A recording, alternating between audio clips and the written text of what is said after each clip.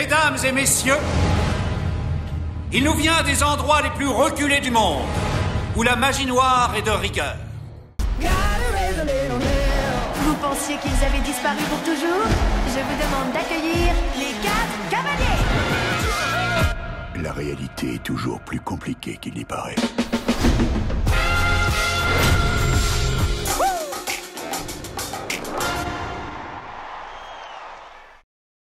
And is this because you're special? You have a special sort of uh, It's body? meditation every day. It's meditation that does it? Meditation every day. Like you can touch me, like this. It's nothing, okay? It's my burn. Ah, It's just like this. Notre preneuse de son a elle aussi eu droit au choc électrique.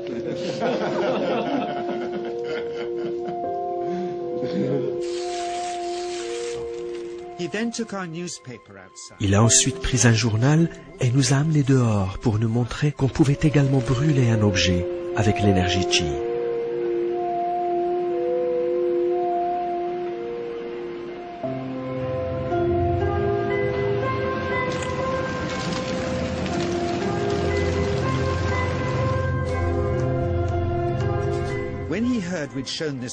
Lorsqu'il a appris que nous allions montrer ce film en public, il était très contrarié et il a refusé de nous recevoir de nouveau, malgré nos nombreuses tentatives.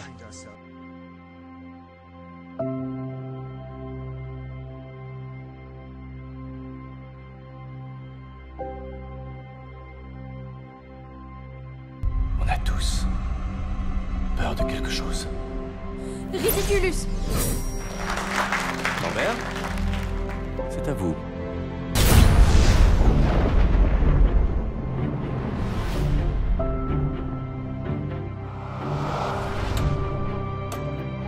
La magie s'épanouit seulement chez des êtres d'exception. Pourtant, nous devons nous terrer dans l'ombre. Mais les usages anciens ne nous conviennent plus.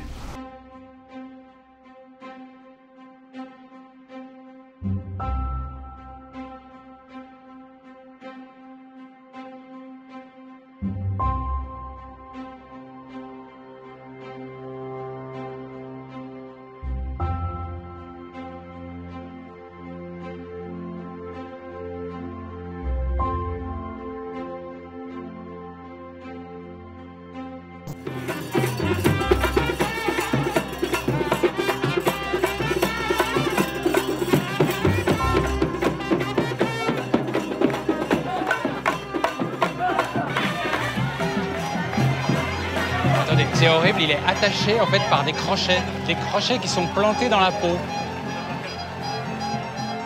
Il peut parler euh, il, il réussit à parler? Non, non, pour l'instant, il ne peut pas te parler. Il est en transe, en pleine expérience spirituelle. Il prouve sa foi à nos dieux en se suspendant comme ça.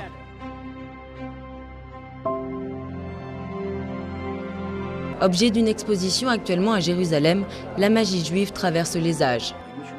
Quand quelqu'un vient me voir avec un problème particulier, j'ouvre d'abord le livre du Zohar avec son nom, sa date de naissance et le nom de sa mère. Ensuite, je vais à la source du problème et à la solution pour le résoudre. Ce commerce florissant est toléré dans la religion juive. Seule la magie noire est condamnée, celle qui permet de rendre justice soi-même.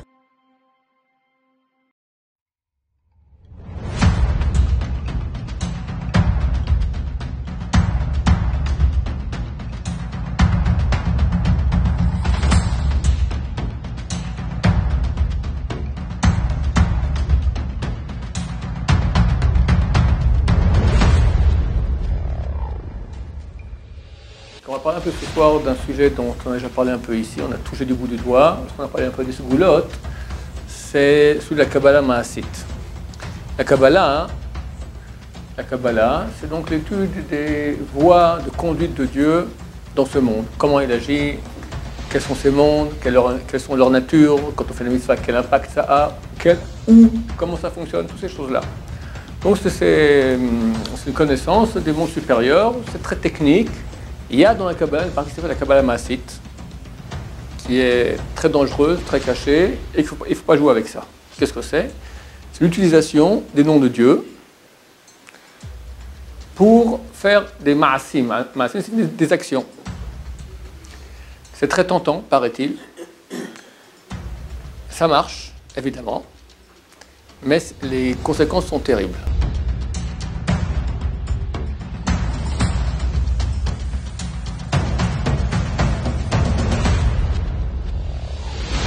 Pourquoi c'est interdit?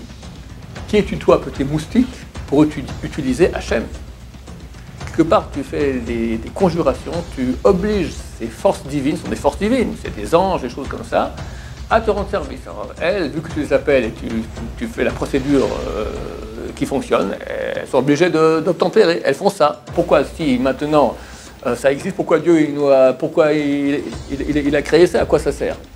Hachem veut qu'on utilise sa force à lui. Il faut qu'on soit au niveau. Très bientôt viendra Mashiach.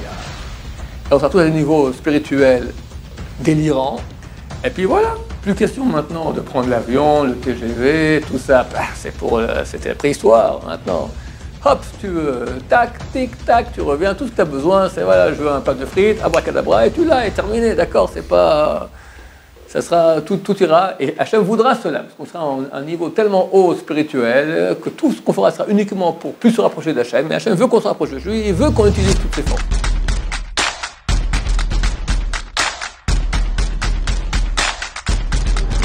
Je sens le pouvoir déferler en moi, tel un courant électrique qui me rend capable de tout exploit de l'esprit ou du corps.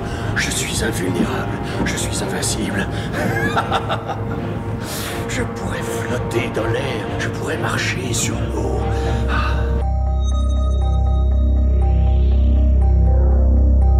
Idem aussi en passant euh, les démons. Le Shulchan dit qu'on a le droit d'utiliser les démons. Il y a deux avis. L'un dit qui dit uniquement pour le vol. On t'a volé quelque chose, tu peux pas demander le démon, ils vont te rechercher, te ramènent la chose qui est, volée. C'est sympa. Et là qui dit que tu peux l'utiliser pour tout. Mais, pour finir, ils disent, mais personne qui s'est euh, affairé avec eux, il a fini en sécurité. Ça finit toujours mal. C'est un peu comme la mafia, quoi. Ils te rendent service, mais après, euh, tu rentres dans le club, tu t'en ressors plus. Voilà, donc c'est très, très déconseillé.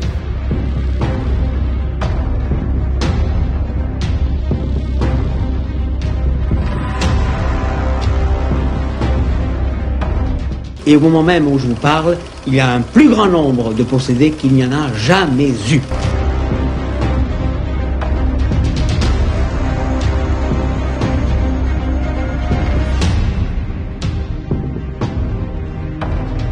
il faisait de la magie depuis l'âge de 6 ans. Et il a fait tout le mal qu'on peut faire. Malheureusement, la plupart des gens actuellement, compte tenu du contexte ecclésiastique dans lequel nous vivons, ne croient plus à l'enfer. Et ils ont bien tort. Et leur montrer un document que j'ai vécu, auquel j'ai assisté, qui m'a douloureusement touché parce qu'il s'agit d'un ami, était une chose unique. Ce n'est pas un montage, ce n'est pas une invention, c'est un fait que j'ai vécu tous les jours pendant plusieurs années, et c'est la raison pour laquelle j'ai voulu le filmer, afin d'en donner témoignage à tous les gens qui auront la chance, et je dirais même mieux, la grâce de le voir.